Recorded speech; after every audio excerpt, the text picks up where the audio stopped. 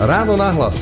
Ranný podcast z pravodajského portálu Aktuality.sk Vojna už trvá príliš dlho, takže pre mňa je to veľmi ťažké, že e, Rusko, moja krajina, napadlo Ukrajinu, tak nesmiem o tom molčať. Keď v piatok popoludní pred prezidentským palácom pred tisícami podporovateľov Putinovho Ruska a jeho agresie v Bratislave povedal, že väčšinu života prežil v Rusku, zožal potlesk.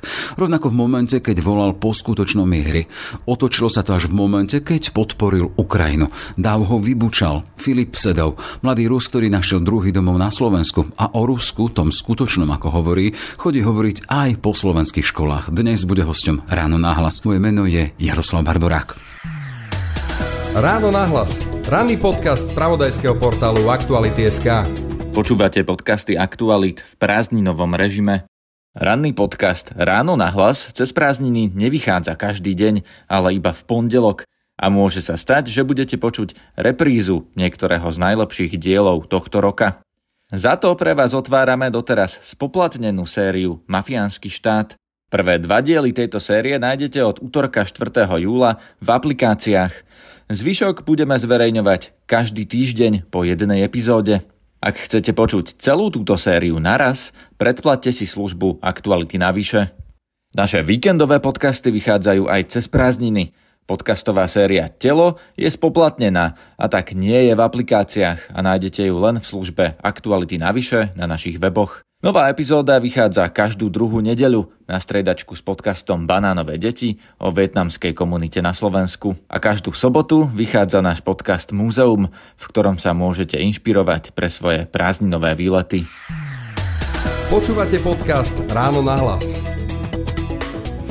Putinovo Rusko a jeho agresia na Ukrajine očami Rusa, ktorý Ukrajinu podporuje. Filip Sedov, vítajte v Ráno na hlas.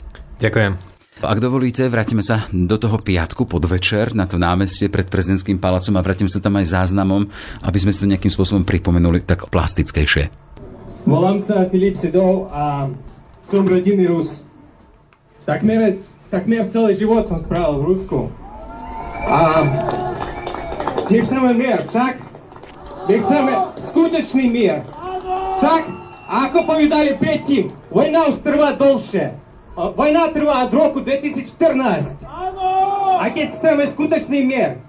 Ми мусимо, а й надалі підпорувати Україну. Слава Україні! Героям слава! Покой, покой, покой, покой. Tak toľko teda zábery z námestia z prezidentského paláca. Čo vám to napadlo ísť medzi tisícky ľudí, medzi tisícky podporovateľov Putina a oslavovať tam alebo zdávať hold Ukrajine? A, pretože nesmiem byť ticho. Vojna už trvá príliš dlho, takže pre mňa je to veľmi ťažké, že e, Rusko, moja krajina, napadlo Ukrajinu, tak nesmiem o tom molčať. Nebali ste sa? Predsa len mali ste pred sebou, v zábere sú desiatky, ale keď by sme videli celý celok, tí ľudia, čo tam boli, tak to boli naozaj tisícky ľudí, podľa policajných zdrojov až 5000 ľudí. Nemali ste tedy naozaj ten reálny pocit strachu? No, v porovňovaní s tým, čo sa deje na Ukrajine, to je, akože, to je nič. Nesmiem sa bať, pretože prebieha skutočná vojna a proste ja nemôžem, nemôžem byť ticho. Uh-huh. A to presvedčenie, to, že nemôžem byť ticho, odkiaľ to pochádza, odkiaľ to prichádza do vás, k vám? Neviem, asi moje svedomie. Moje svedomie mi hovorí, že no, musím niečo robiť. Tak sme si všimali aj tie zábery, tak boli tam také tie momenty, keď jeden pán vám chcel vytrhnúť a aj vám trhal tú ukrajinskú vlajku. Predsa len za akým pocitom nosí jeden rodený Rus keď ste hovorili, že väčšinu svojho života ste prežili v Rusku, za akým pocitom nosí vlajku Ukrajiny? No, s tým pocitom, že Ukrajina je obyťou. Ukrajina je napadnuté uh, Ruskom a proste teraz počas vojny ja musím byť na strane obyti. Jednoduché. Na strane obeti? Áno. Uh-huh. Čo ste očakávali od toho svojho vystúpenia, od, to, od tej svojej prítomnosti medzi nepriateľmi? Ja teda tak nazývam, že ste vstúpili do jamy levovej. Um, no, hodinu predtým moji kamoši mi zavolali a povedali, že no, ak tam pôjdem, ak urobím niečo také, určite, určite mi, mi ubližia. Pretože oni sledovali ten tzv. Pochod za mier od začiatku Oni boli ešte pri Bratislavskom hrade a povedali mi priamo, že Filip, keď povieš niečo, s čím nesúhlasia, určite ti ublížia. Tak e, ja som bol pripravený ku všetkomu. No a opäť sa vraciam k tomu, teda Filip určite ti ublížia a Filip tam šiel. Áno. No a ten motív, ten, to, čo vás hnalo, ten spiritus movens, to, čo vás tam tlačilo, čo to je? Moje svedomie. Naozaj, e, nesmiem byť ticho. Proste ja som e, neprimýšľal dvakrát. Proste ja som vedel úplne od začiatku, že musím tam ísť. Konec. Mhm. A musím tam ísť prečo? Aby som mohol viedriť uh, svoju podporu Ukrajine ste aj na tom zázname hovorili, som rodený Rus, väčšinu svojho života som prežil v Rusku. Tá vojna, ktorá sa pred tým vyše rokom začala, sa začala preto, lebo zautočil Vladimír Putin na suverénny štát Ukrajinu. Zautočil na ňu prezident Ruska. Vy ste občan Ruska. Ako to nesiete? Hovoríte teda, že to vaše svedomie vám nedá a hovoríte čosi úplne opačné do kontry. No teda, že ako si nesiete ten obraz svojho prezidenta, alebo to nie je váš prezident? To nie je môj prezident. To proste, to nie je demokraticky vybraný prezident. Takže ja ho nevnímam ako môjho prezidenta vôbec. No ale predsa len je formálne prezidentom Ruskej federácie, ktorá aktuálne útočí na suverénny štát. Smerujem k tomu, prečo robíte to, čo robíte? Vy ako Rus sa vyslovujete proti Rusku. Nebojte sa? Zas e, nesmiem sa bať. Proste um, to je moja krajina. Ja, ja som Rus a cítim sa zodpovedný za to, čo sa deje. A preto robím to, čo robím. A tá vaša zodpovednosť, ako vyzerá? Ako to vlastne vnímate, že som zodpovedný? Uh, no, od začiatku vojny väčšina Rusov majú taký tichý súhlas s tým, čo sa deje. A ja nemôžem byť ticho. A preto aj napriek tomu, že nie som v Rusku, aspoň, aspoň tu na Slovensku sa snažím robiť niečo, čo by mohlo pomôcť Ukrajine aj slovenskej demokracii. Slovenskej demokracie, hej? Áno. Ste tu na Slovensku, pred sebou vidím nejakého triciatnika, tak predpokladám, hej, okolo... Presne. Tri... Tak, áno, tak. Ste tu sám? Mám manželku, uh-huh. takže no, sme dvaja. A zvyšok rodiny máte niekoho, ktorý zostal v Rusku? Uh, mám už takú vzdialnejšiu rodinu v Rusku. A rodičia? Uh, rodičov už nemám. A tak. Čiže už vás tam nejakým spôsobom nepútajú tie najbližšie korene rodinné, už len teda tá vzdialenejšia rodina, hej? No, ale stále je to môj štát, uh-huh. je to moja vlast. Zmenilo by na tom čosi, alebo to, že by tí vaši rodičia boli živí, že by tam žili v tom Rusku? Že by si tam zostali? Ťažko povedať. Uh-huh. Naozaj. Tá vzdialenejšia rodina, oni majú iný názor na to, čo sa deje. Oni akože neodsudzujú vojnu, majú taký tichý súhlas, podporujú Putina všeobecne, nielen teraz počas vojny, takže sme sa prestali baviť aj kvôli tomu, čo sa Aj deje. s rodinou teda, hej, že vyslovene e, vzťah k tomu, čo sa v Rusku deje, to aj pokazilo vaše rodinné vzťahy. Áno. S tou vašou Bohužiaľ. rodinou, ktorá zostala ešte tam. Vy ste, ak sa nemýlim, prišli na Slovensku nejakom roku 2018. Mm-hmm, to áno. ešte o agresii, o tej horúcej vojne s Ukrajinou nebolo ani teda, to nebola realita.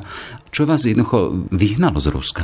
A, pôvodne ja som tu prišiel ako dobrovoľník cez um, program Erasmus, takže ja som nemal uh, pôvodne plán zostať mm-hmm. na Slovensku, ale kým, kýmže už som tu bol nechcel som ísť naspäť, pretože ja som počúval a videl som na vlastné oči, ako to, ako to vyzerá v Rusku. Že ekonomicky, politicky to proste išlo dole kopcom už dlhšie.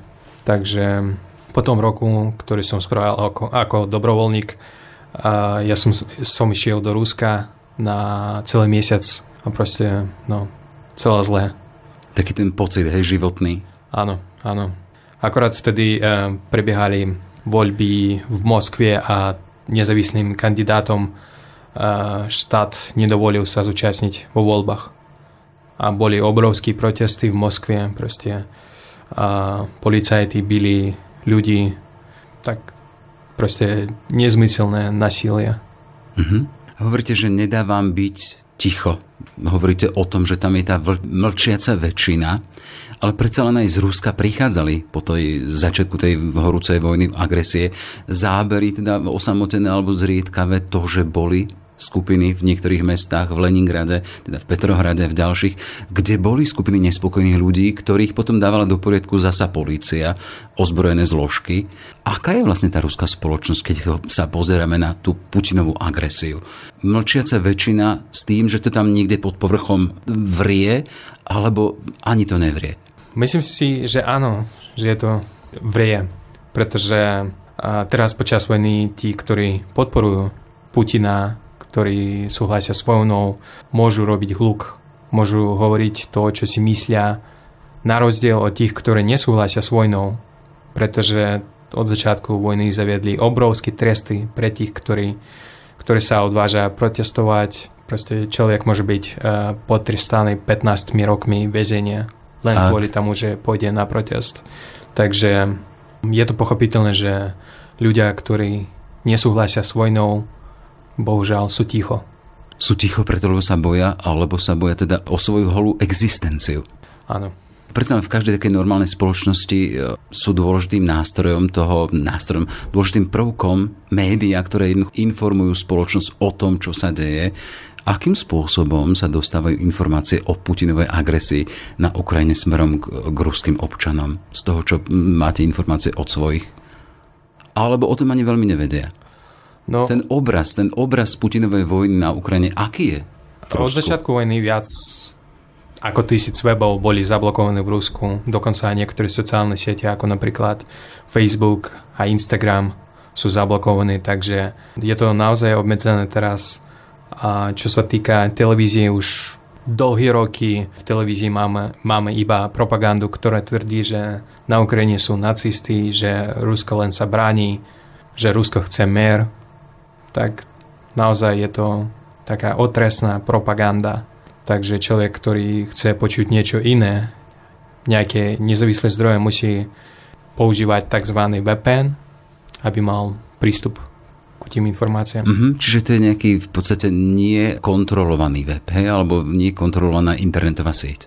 Áno. Inak sú informácie celé nejakým spôsobom strážené.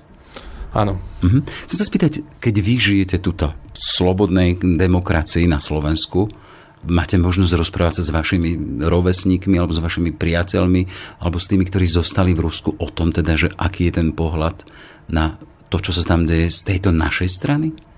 Existujú také tie informačné kanály neformálne, neformálne ľudí, ktorí sú von, lebo však predsa len Rusov, ktorí sú mimo Rusku federáciu alebo mimo územie Ruska, to je na, sto, na 100 tisíce. Áno, takže aj ja sa snažím používať takýto zdroje. Pomáham svojim známym kamošom, aby dozvedeli viac.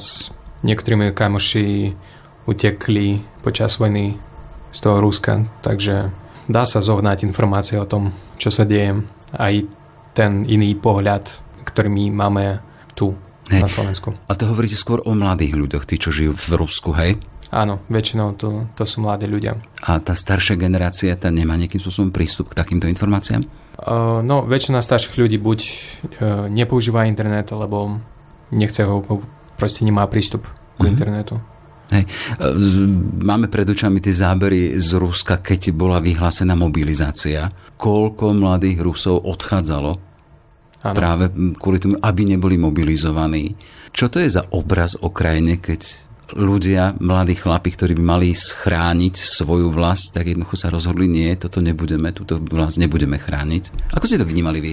Čo to bol za signál? Um, no, že takto v skutočnosti vyzerá Putinové Rusko. Um, že tieto mladí ľudia, ktorí sa rozhodli odísť, majú rozum. Že proste um, je to pochopiteľné, že oni sa boja, chcú utiecť z toho Ruska. A takým spôsobom e, pôsobia Ukrajine. Pretože teraz tam je nedostatok ľudí, nedostatok pracovníkov, takže níže sa HDP. Mm-hmm.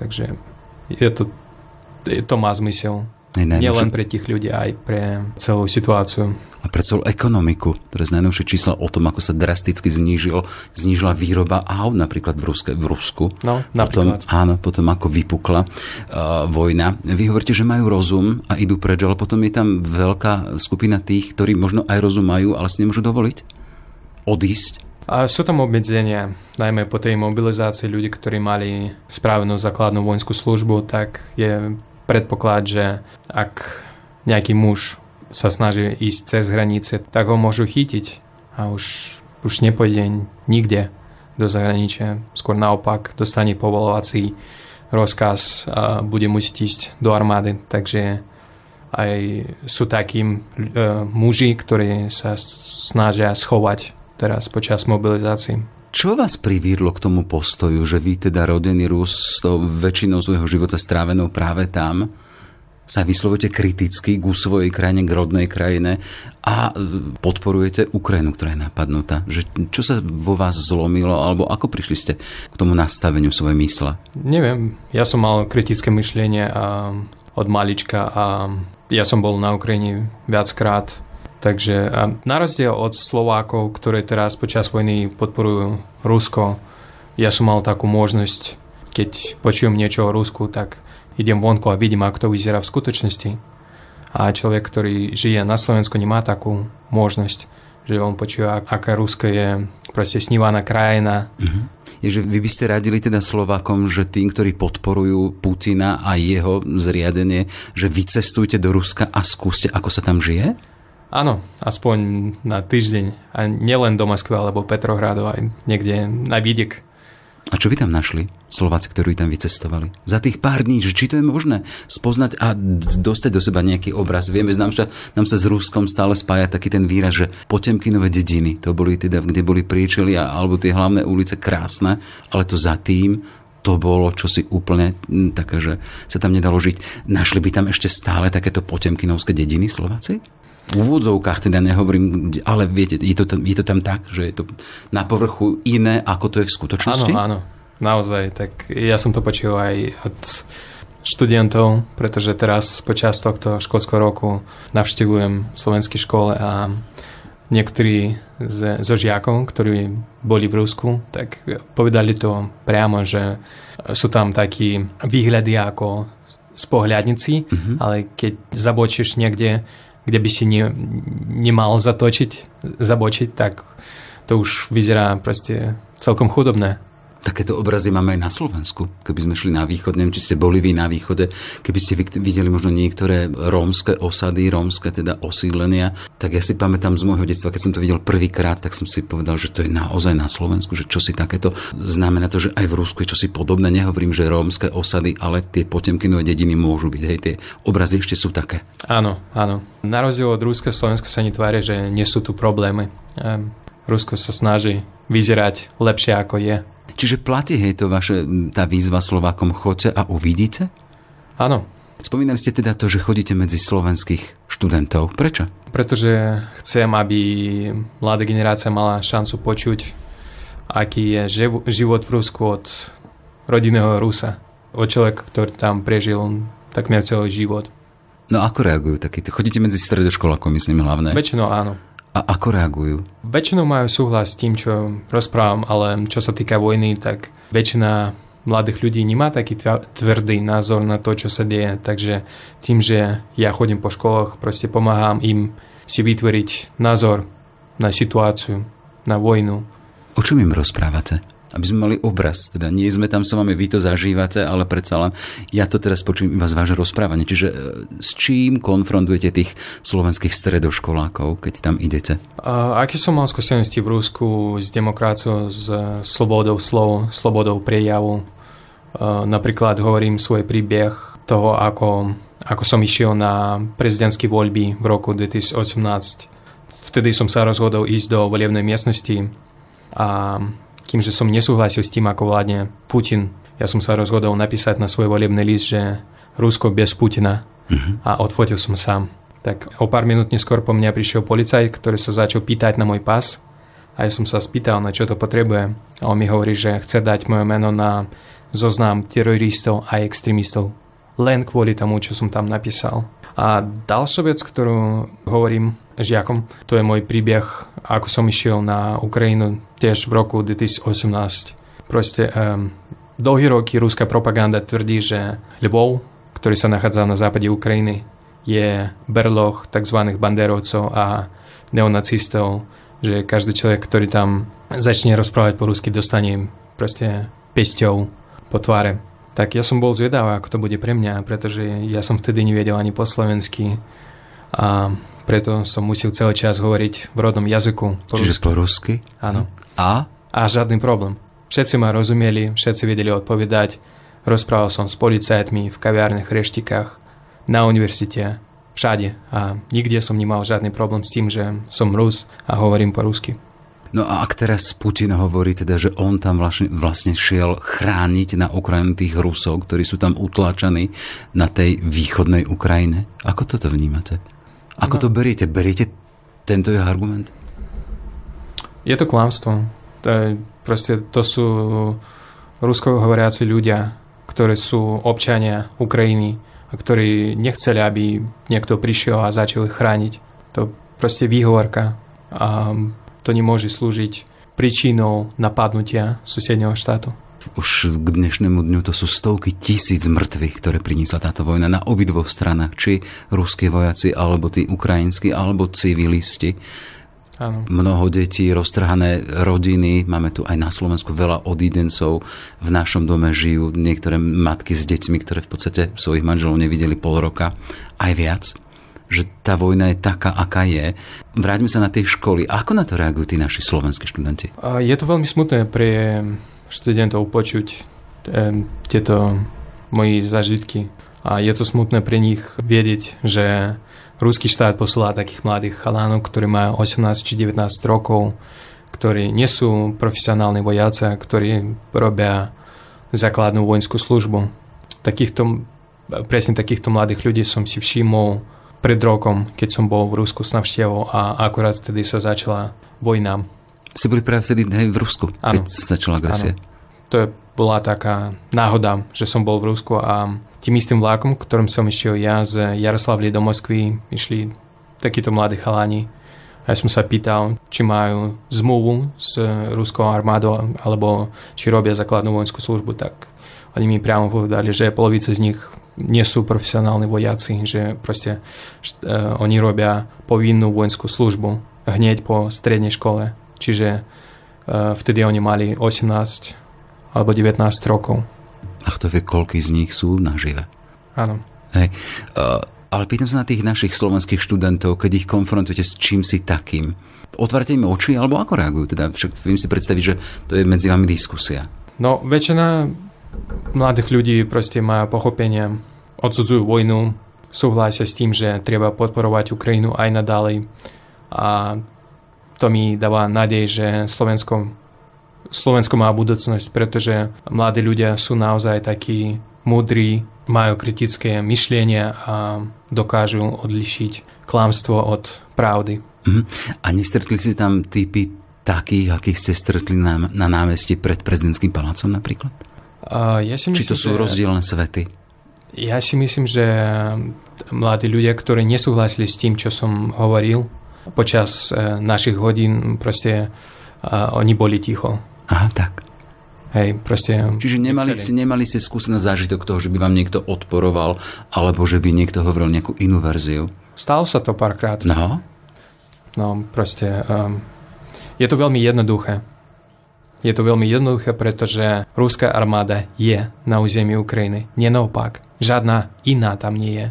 A preto je, je to potrebné podporovať Ukrajinu aj nadále, pretože Ukrajina je obeťou a Rusko je agresorom. V ruskej komunite, ktorá tu je aj v Bratislave na Slovensku, ste osameli, ojedineli, alebo takéto zmýšľanie majú aj ďalší? Nemáme predstavu o tom, teda, lebo tie naše informácie, tak máme, tak to je osádka ruskej ambasády, ktorá musela čas aj odísť pred kvôli svojim aktivitám. A potom teda, ako vyzerá to tí ostatní Rusi, tuto, čo tu žijú? Že, ako ste nastavení medzi sebou? Sú tu rôzne ľudia. Ja si myslím, že väčšina Rusov, ktorí tu žije, oni to nechcú riešiť. Asi. Nemám prieskumy. Ale to, určite... nie, to nie je téma hej, vašich rozhovorov? O, nemám takých um, veľmi blízkych e, známych Rusov, Rusov. ktorí žijú na Slovensku.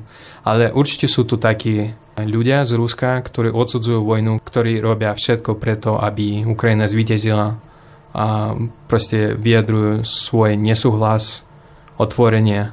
Za to som veľmi rád, že sú tu aj takí Rusi, ktorí nedokážu prijať vojnu.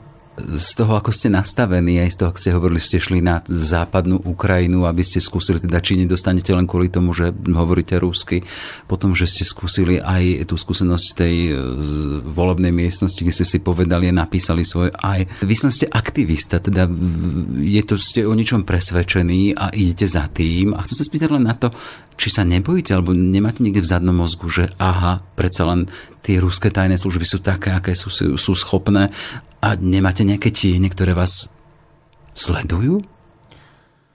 Um, Ako to riešte v sebe? nevšimol. Mhm.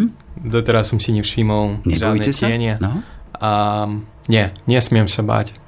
No nesmiem sa báť, to je takéto nastavenie, nesmiem sa, ale keď sa, keď, nech sa až do, do špik koste prídeme, máte tam tie momenty, že ale Filip, že no, mám manželku, chcem mať rodinu, ne, nebojíte sa.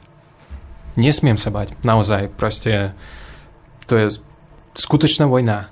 A proste tisíc ľudí podľahli. Tisíc ľudí sú obeťmi tejto vojny a neviem si predstaviť, keby som bol ticho teraz. Ako bude vyzerať vaša budúcnosť? Aktuálne ste teda na Slovensku už nejakého roku 2018. Čo plánujete ďalej? Vojna stále trvá. A ja budem robiť všetko preto, aby Ukrajina zvíťazila v tejto vojne a to bude uh, víťazstvo nielen pre Ukrajinu, aj, aj pre moje Rusko. Pre slobodné a dobré Rusko. Mhm. Čiže vy veríte v toho, že sa to môže zmeniť? Že e, Putinov režim, tá jeho vláda, pevnou rukou, že to jednoducho raz padne a Áno. príde... No počítate s tým, že bude raz Rusko slobodné? Áno, počítate ver- s tým, že sa tam vrátite? Máte to niekde v, rámci možností toho, že svojho budúceho života, že budem zasa doma vo svojom rodom Rusku? Áno, je to moja krajina, je to proste, je to môj domov. Ja som sa narodil v Rusku a ja chcem len prosperitu pre môj štát. A počítate aj s tým, že zostarnete na Slovensku napríklad? No, ja som úplne spokojný na Slovensku a určite zostanem tu aj na dlhšie. Neviem, koľko to ešte bude trvať. Pokiaľ som tu, ja dosť často cestujem, chodím po celej Európe, aj mimo, takže ja som úplne spokojný s tým, že som na Slovensku. Jasné.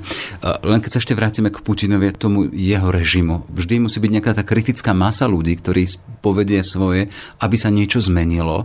Vidíte takú nejakú reálnu šancu, že by, sa to, že by to v Rusku došlo až do toho momentu, že by Vladimír Putin musel nejak cúnuť, lebo by tam bola tá kritická masa nespokojných?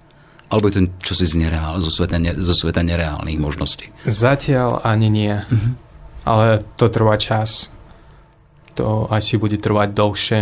Tá životná úroveň stále klesá, pretože aj sankcie ovplyvňujú tú životnú úroveň v Rusku. Takže aj preto my musíme podporovať Ukrajinu, pretože to, ak Ukrajina zvíťazí, je veľký predpoklad, že ten diktátorský režim v Rusku padne. Ďalšia vec, robil som rozhovor s jedným reportérom, ktorý sa pohybuje na Ukrajine, zorientovaný v situácii a hovorí teda, že Putin bude musieť čeliť aj tým množiacim sa správam a tým čiernym vreciam, ktorých sa vracajú mŕtvi ruskí vojaci. Áno. Ako na to reagujú Rusi? Na toto, čo si, viete, tá bezprostredná smrť, ktorá ide z Ukrajiny ich, ich synom.